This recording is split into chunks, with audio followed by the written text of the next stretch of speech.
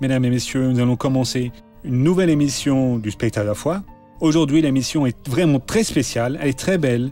Nous sommes en train d'apprendre chaque jour plus sur le caractère de Dieu et ce qu'il a comme intention pour ses enfants. Et quand nous apprenons, vient la compréhension. La compréhension, c'est la capacité de comprendre tout ce qui a été proposé et de continuer sur le bon chemin. Beaucoup de personnes ne comprennent pas ce que Dieu veut dans la vie pour elles. Elles ressentent la culpabilité, se donnant des pénitences, trouvant qu'elles sont les pires personnes du monde. Mais quand vous comprenez que le prix de votre erreur, de vos fautes, de ce qui est en train de vous faire souffrir, a déjà été payé, vous commencez à vous interroger. Attendez un peu. Si ça a déjà été payé, ça n'a pas besoin d'être payé à nouveau. Celui qui paie deux fois paie mal. Et donc je demande, qui, qui a payé le prix de votre vie? Le prix de votre péché C'est le Christ. Ce que beaucoup ne comprennent pas, c'est que Jésus est venu sur terre. Il est venu avec la mission de Dieu qui était d'amener l'humanité à nouveau en contact avec Dieu. Et c'est pour ça que le Christ n'a pas péché. Il n'a pas eu de péché dans sa vie. Et par le fait qu'il soit resté sans péché, il a été accepté comme un sacrifice fait par le Seigneur Dieu au profit des péchés de l'humanité. Et le sacrifice a été accepté par Dieu. C'est pour cela que Dieu a pu ressusciter le Christ d'entre les morts. Pourquoi? Parce que le sacrifice final a été payé. Et Dieu, qui a le pouvoir de donner la vie, d'ôter la vie, a donné la vie à nouveau au Christ. Le Christ aujourd'hui est assis à côté du Père, dans la région, dans les régions célestes. Et aujourd'hui, vous allez comprendre que l'acte du Christ de mourir sur la croix des péchés la croix du calvaire pour tous nos péchés, a été un acte de grande importance. Et quand vous prenez cela, votre vie va alors atteindre un nouveau palier. Quel palier? Le palier de la compréhension. Vous savez comment agir. Pourquoi des choses se produisent Comment faire quand les choses vont devenir de mal en pis Juste après la fin de l'émission, je reviens vous en dire plus, mesdames, messieurs, parce que commence maintenant, à la foi avec pasteur Soares. Et pour Jésus, faites de beaux applaudissements.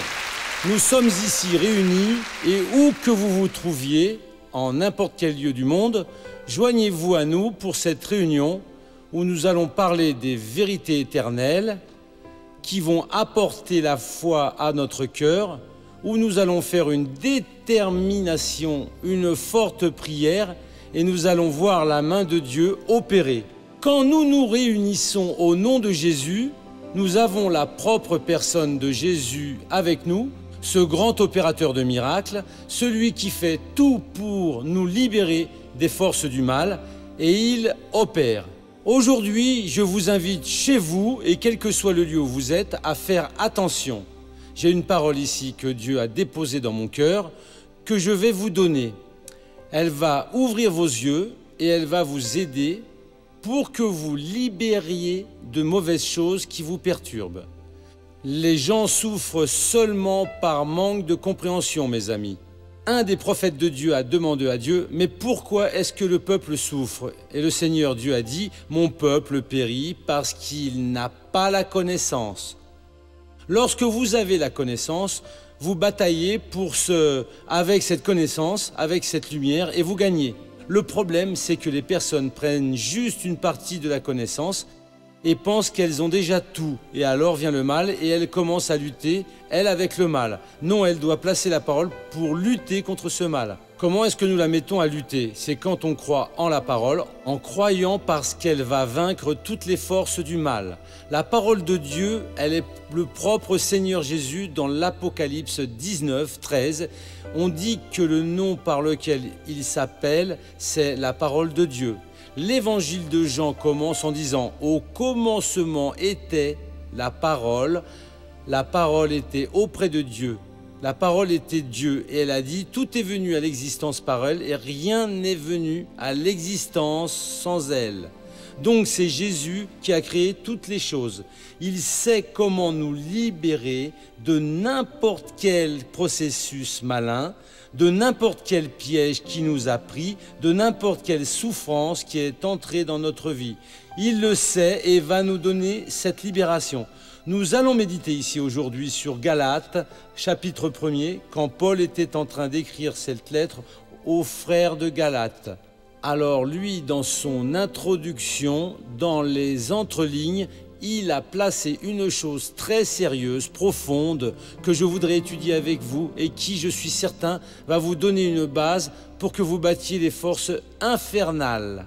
Galates, c'est le Nouveau Testament qui commence avec Matthieu, Marc, Luc, Jean, Actes, Romains, première et seconde lettre aux Corinthiens, Galates, et après viennent les Éphésiens. Donc ça se situe entre la seconde lettre aux Corinthiens et Éphésiens chapitre 1er. Dans le verset 3, il déclare Grâce et paix à vous de la part de Dieu notre Père et du Seigneur Jésus-Christ.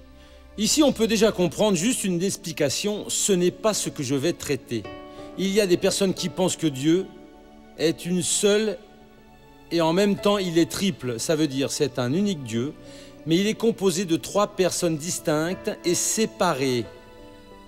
Vous voyez cela clairement quand Jésus a été baptisé. Jésus était une personne de la divinité. Jean-Baptiste l'a baptisé dans l'eau. Quand il est sorti de l'eau, les cieux se sont ouverts. Le Saint-Esprit, une des personnes, est venue sur lui sous forme d'une colombe, et une voix a parlé du ciel, et une voix retentit des cieux, celui-ci est mon fils bien-aimé, c'est en lui que j'ai pris plaisir. Et donc, ça n'a pas été un théâtre. Il y a le Père, il y a le Fils, il y a le Saint-Esprit. Les trois sont un. Ne me demandez pas car je ne sais pas vous expliquer et personne ne sait. Cela pour nous c'est un mystère. Mais ce sont trois personnes. Paul était en train de dire ici qu'il nous donnait la paix, la grâce et la paix de la part de Dieu Père et de la part de notre Seigneur Jésus-Christ. Et donc ce sont deux personnes donnant la grâce et la paix. Ce qui m'intéresse c'est le verset 4 pour notre étude aujourd'hui. Qui s'est donné lui-même pour nos péchés? Qu'est-ce que cela? Qui s'est donné lui-même pour nos péchés. Missionnaire, tout ça c'est confus. Comment est-ce que je vais me donner à moi-même pour une chose, pour pouvoir nous libérer de nos péchés? Le Seigneur Jésus, il est la justice de Dieu. La justice de Dieu imposait que l'homme souffre parce que l'homme avait désobéi à la parole de Dieu. L'homme n'avait plus de pouvoir, il n'avait plus de contact avec le Seigneur, Dieu, il était séparé. Pour que l'homme se remette à avoir la communion, que cette barrière soit défaite, qu'il soit accepté, qu'il ait accès à Dieu, que quelqu'un qui n'est pas péché, qui soit propre, pur, saint, devrait payer le prix, mais il n'y avait pas un homme, pas même injuste. Tous son péché et était destitué de la gloire de Dieu parce que nous héritons du premier homme Adam, la semence du péché, dont il n'y avait pas moyen.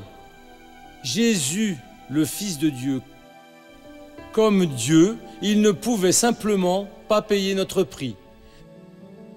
Donc il est venu, selon la volonté de Dieu, il s'est offert, il s'est défait de ses prérogatives divines, des attributs divins, et est né, géré dans le ventre de la Vierge Marie par l'œuvre et la grâce du Saint-Esprit, comme un bébé sans défense, comme moi et vous l'étions quand nous sommes nés tellement qu'ils ont dû fuir vers l'Égypte avec lui.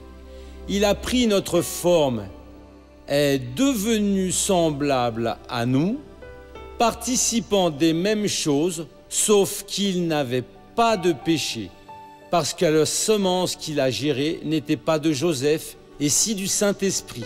Le miracle que Dieu a fait, il a pris la vie et l'a implantée dans le ventre de Marie, et elle est alors devenue enceinte et elle a donné le jour tout en étant vierge. Lui, pour ne pas avoir le péché, le diable n'avait rien en lui. Mais lui, alors, est arrivé, un jour, il s'est donné à qui? À la justice de Dieu, c'est vraiment ça. Voyez quelque chose sérieuse. Promettant que des hommes mauvais le battent, qu'ils le fouettent, qu'ils le ridiculisent, qu'ils crachent sur lui, qu'ils arrachent ses cheveux, qu'ils donnent beaucoup de coups sur lui, qu'ils donnent beaucoup de coups sur lui, et il a été cloué sur la croix, il est mort. Pourquoi est-ce qu'il a fait cela? Une œuvre si difficile, si humiliante, de lui et Dieu, dans le monde de la perfection, laisser ses prérogatives, naître comme un homme comme nous, vivre en ce monde ici limité, et après les hommes utilisés par le diable, ils ont fait tant de choses avec lui et il l'a permis. Pourquoi il a fait cela? Parce qu'il voulait faire quelque chose pour nous. Qu'est-ce qu'il voulait faire? On va voir cela. Qui s'est donné lui-même pour nos péchés afin de nous délivrer du présent monde mauvais selon la volonté de notre Dieu et Père? Le Père n'est pas la part mauvaise de la divinité. Dans la divinité, il n'y a pas de mauvaise part. Le Père est amour, comme le Fils l'est, comme le Saint-Esprit l'est aussi. Le Père voulait ramener l'homme vers lui, mais il n'y avait pas les conditions, parce que l'homme a péché. Il ne pouvait pas dire, oubliez ça. Non, la justice de Dieu le demandait. Et donc quelqu'un devait venir. Le choix s'est porté sur Jésus, qui est le constructeur de tout, de ce qui se voit, autant dans le monde matériel comme le spirituel. Toutes les choses ont été faites par lui. Sans lui, rien de ce qui a été fait se fait. Il est venu selon la volonté du Père. N'ayez pas peur de parler avec le Père au nom de Jésus, parce que le Père qui a été l'architecte de ce plan, c'était la volonté du Père et il est venu accomplir la volonté du Père. Il l'accomplit complètement et qu'est-ce qu'il a fait? Il nous a libérés du présent siècle du mal. Qu'est-ce que c'est que ça De ce pouvoir malin qui existe de toutes parts, qui fait qu'une personne soit malhonnête, infidèle, qu'une personne se prostitue, se drogue, abuse d'un enfant, qui fait que quelqu'un souffre, vole, tue, et tout ce qui est encore plus sale. Cela, c'est le présent siècle mauvais, qui quand il prend une personne, c'est avec une maladie. Personne ne se trouve avec un problème d'infirmité parce qu'il ne vaut rien. Parce que si c'était pour ne rien valoir, nous tous aurions le cancer, du diabète, la cécité, serions sourds, des paralysies. Et parce que qu'est-ce qui peut dire que moi je veux plus? Qu'est-ce qui n'a jamais fait quelque chose de mauvais? Mais ce n'est pas pour cela. Et donc le mal vient et prend cette personne. Pour un, il fait ainsi, pour l'autre, il fait cela, un autre, il fait ça. Mais la bonne nouvelle, c'est que Jésus nous a déjà libérés de ce pouvoir malin, de ce présent siècle mauvais qui détruit les vies, qui fait que quelqu'un agisse comme un monstre, que, quelqu'un agisse comme un salaud, comme une canaille, que quelqu'un qui souffre comme s'il devait payer un prix élevé. Il nous a déjà libérés. Et donc, qu'est-ce que nous devons faire aujourd'hui? Nous devons avoir ceci comme une base. Et quel est votre problème? Mon problème missionnaire, c'est que je suis malhonnête. J'aime seulement quand je vois, je vais pouvoir soustraire quelque chose des autres. Jésus vous a déjà libéré de cette force maligne qui vous opprime. Mon problème, c'est que je suis infidèle dans mon mariage. Mon conjoint souffre avec moi. Le Seigneur Jésus vous a déjà libéré de cette force maligne de l'infidélité. Mon problème, c'est que je suis dépendant des drogues. C'est parce que vous voulez être dépendant, parce que vous avez déjà été déjà libéré par le Seigneur Jésus qui s'est déjà donné lui-même, qu'il ne s'est pas économisé. Il n'a payé jusqu'au dernier centime, jusqu'à la dernière marque de saleté qu'il y avait. Aujourd'hui, toute personne avec une quelconque souffrance, avec une quelconque faiblesse, peut se baser sur cette parole et déclarer au Seigneur Dieu, je vais vivre cette liberté, je vais être cette personne libre. C'est cela ici que Paul a écrit, est formidablement profond, et formidablement large, et formidablement étendu, tout ce dont nous avons besoin.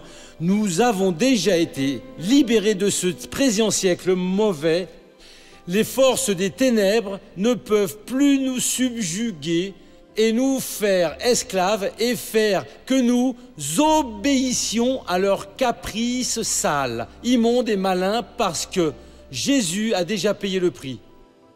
Qu'est-ce que vous avez de mauvais dans votre vie? Je suis en train de parler de personnes de toutes parts. Je suis une personne malhonnête.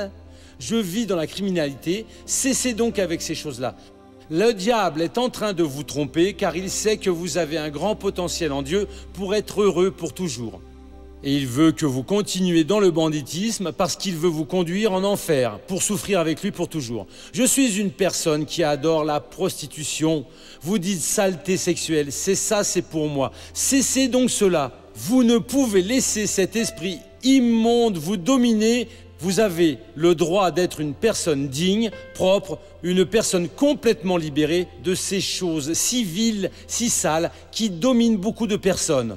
Je suis une personne qui vit malade. Cessez maintenant et dites, je vais reprendre le dessus, je vais être guéri. Pourquoi? Parce que Jésus s'est donné lui-même pour me délivrer de ce présent siècle mauvais. Je ne vous parle pas de religion. Je ne suis pas en train de dire que votre religion ne vaut rien et l'autre est bonne. Je ne veux rien savoir de cette histoire de religion. Je viens vous parler des vérités éternelles, des choses auxquelles peut-être vous avez jamais pensé. Qui s'est donné lui-même pour nos péchés? C'est à cause de notre séparation qu'il a souffert tout cela. Et pourquoi? Afin de nous délivrer du présent monde mauvais, il est possible de vivre en ce monde avec la tête haute, la poitrine gonflée, libre. Et si le mal vient, et s'il est déjà venu, maintenant il sort, et il sort comment? Au nom de celui qui m'a libéré de vous, au nom de Jésus-Christ. S'il a payé un prix élevé pour faire cela pour moi, qu'est-ce qu'il ne fera pas maintenant quand je crois dans l'œuvre qu'il a réalisée? Mon frère, il est mort, il a été séparé de Dieu. Quand il était là-haut sur la croix, il a crié Mon Père, mon Père, pourquoi tu m'abandonnes? C'est parce qu'à ce moment-là, Dieu ne pouvait plus être en communion avec lui. Il est mort spirituellement, il a été séparé de Dieu, il a été enterré, il est descendu en enfer. Les démons applaudissaient, nous l'avons ici avec nous. Trois jours plus tard, quand il a payé le dernier prix, l'Esprit de Dieu est descendu là en enfer, a raviné Jésus et il est le premier-né revenu d'entre les morts. Il a été le premier à sortir de là, il est sorti victorieux et il a dit Je suis mort, mais je suis vivant à tout jamais et j'ai les clés de la mort et du séjour des morts. Le diable ne peut fermer le cercle de votre vie parce qu'il n'a pas les clés. La clé est dans la main de Jésus. Relevez-vous aujourd'hui et dites Je vais être une personne que Dieu veut que je sois. Et Dieu va vous donner cette victoire.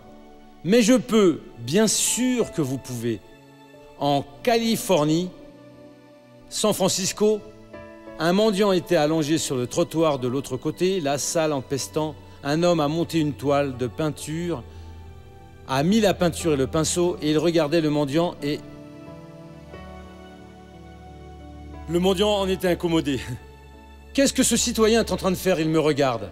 Il s'est levé, a arrangé sa tenue, il peut que ce n'était pas une plaisanterie. Et mon gars, qu'est-ce que tu es en train de faire?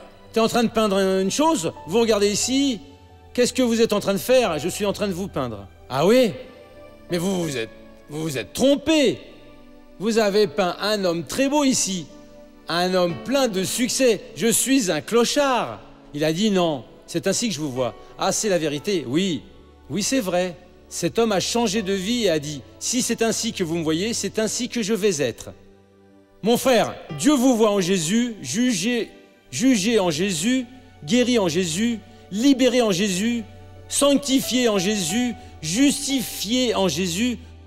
Dieu vous voit libre des forces infernales. Soyez cette personne. Allons au feuilleton de la vie réelle.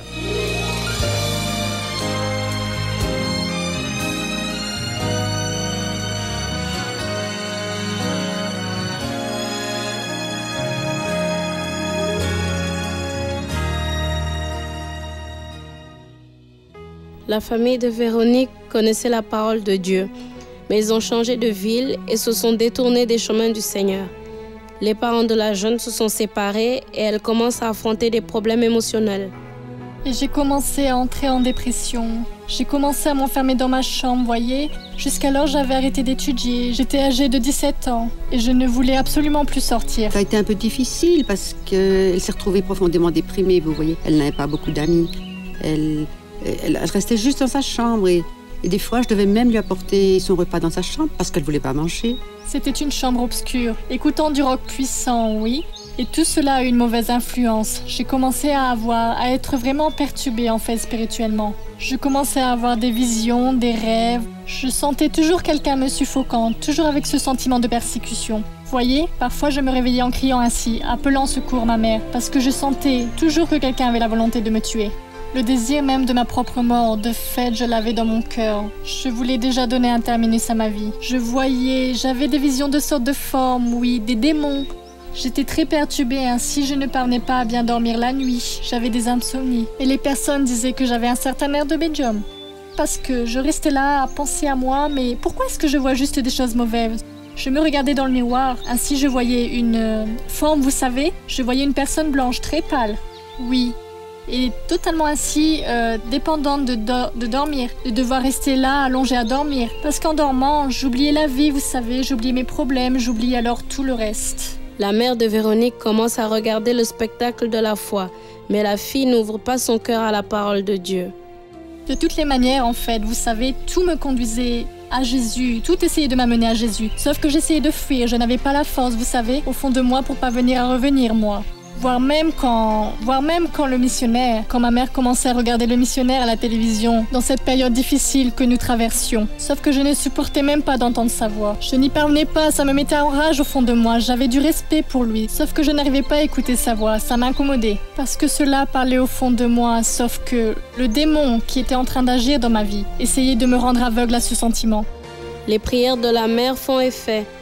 Véronique ressent l'appel de Dieu fond de moi, je me disais, mince, il faut aller à l'église de la grâce, ma vie doit changer, vous savez. J'en étais déjà arrivée à ce point, non, je veux me remettre à Jésus. J'y suis allée, j'ai participé à une première réunion. Et là, j'ai ouvert mon cœur à Jésus. Et à partir d'alors, réellement, ma vie a changé. Tout ce mal, toute cette oppression a disparu. Je sentais ainsi que j'ai été vraiment pardonnée pour les péchés qu'autrefois je m'étais détournée des chemins de Dieu car Jésus réellement m'a embrassé à ce moment-là. Et j'ai commencé à fréquenter les... à suivre ainsi les cultes. J'ai commencé à beaucoup rechercher pour ma famille parce que ma famille aussi était détournée. Elle a commencé à fréquenter le groupe de jeunes, à participer. Puis c'était toute la famille. Ce, qu'elle racontait pas aux gens, aujourd'hui elle le dit à tout le monde. Aujourd'hui, elle s'occupe des autres. Elle, elle est tout le temps à l'église.